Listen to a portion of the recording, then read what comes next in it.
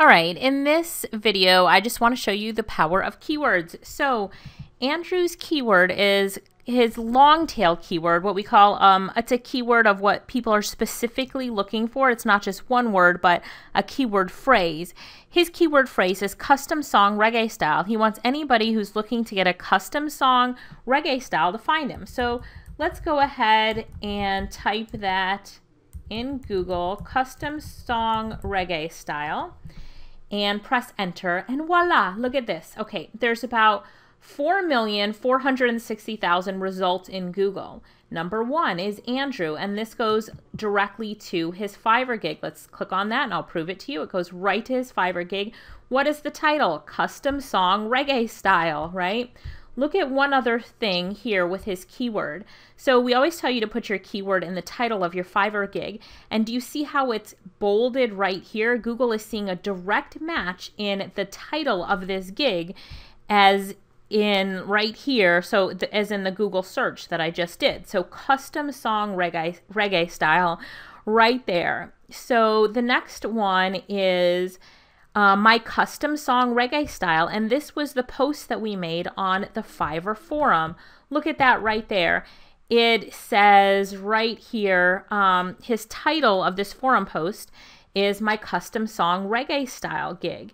And then he puts a link in here to, it's a, a different custom song reggae style gig on Fiverr but he's got it again here custom song and reggae style. So the keywords are really, really important. He's being found in Google for the keyword that he wants to be found for custom song reggae style. Now, if somebody is looking to get a custom song created reggae style, are they going to pick Andrew? He's number one, he's number two.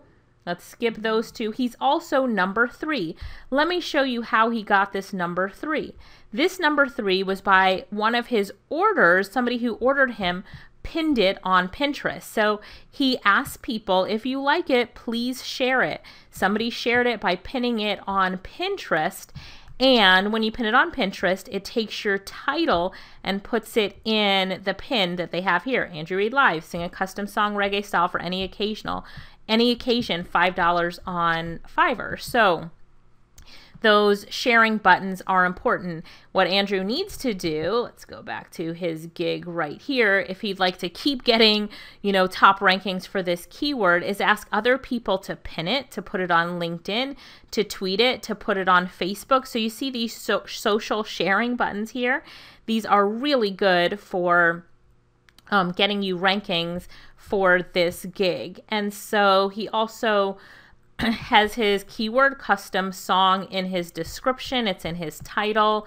The video is saved with the keyword custom song. The picture he has is saved with the keyword custom song. So he's custom song reggae style. So he's really ranking well for that keyword. Just a quick example. What you want to do is go to Google, type in your keyword, see where you rank. If you're not ranking high like he is, fix it look at your titles, look at um, how you can post on the Fiverr forum. There's a bunch of different things that you can do, and you need to keep going through the backlinking strategies as we are teaching you different backlinking strategies so that you understand how you can really make this work and get on the first page of Google for your keywords. All right, checking out. This is Alicia. Hope you enjoyed this video. Go ahead, Google your keyword and see where you rank.